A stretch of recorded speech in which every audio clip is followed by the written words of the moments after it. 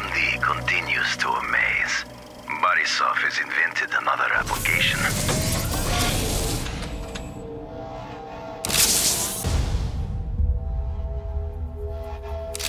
This one he calls Deadlock.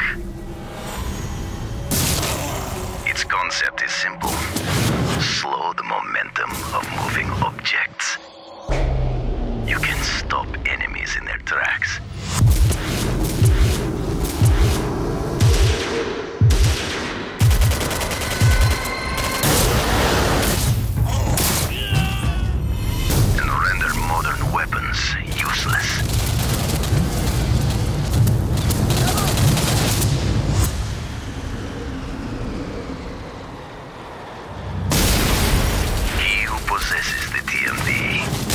Who possesses the